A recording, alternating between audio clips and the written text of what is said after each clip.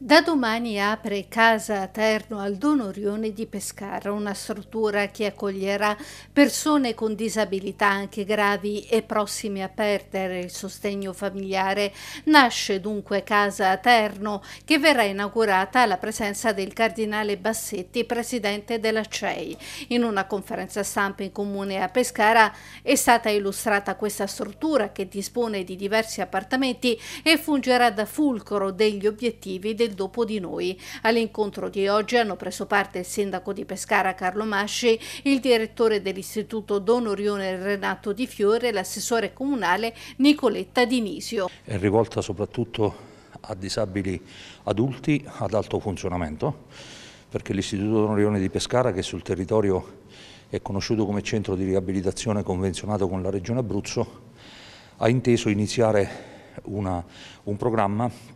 per rispondere ad alcuni bisogni specifici delle famiglie dei nostri ragazzi con disabilità. Io li continuo a chiamare ragazzi, ma in realtà molti di loro cominciano ad avere 50 anni, 60 anni e quindi c'è il problema del cosiddetto dopo di noi, cioè le famiglie si cominciano ad interrogare cominciano a riflettere su quale futuro possono dare ai loro figli nel momento in cui venissero a mancare uno o entrambi i genitori. Quindi Inauguriamo questa residenza che è stata realizzata in parte con un intervento della nostra sede centrale, della provincia madre della Divina Provvidenza, dell'Opera d'Onorione, dalla quale noi dipendiamo, e in parte è stata finanziata con un contributo proprio stanziato appositamente dalla Conferenza Episcopale Italiana e questa residenza sarà una residenza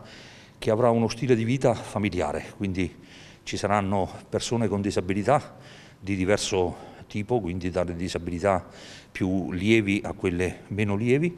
che provano a fare un esperimento insieme di vita autonoma, autodeterminata, quindi non si tratterà di un reparto ospedaliero sanitario, ma si tratterà proprio di una residenza stile familiare, dove ognuno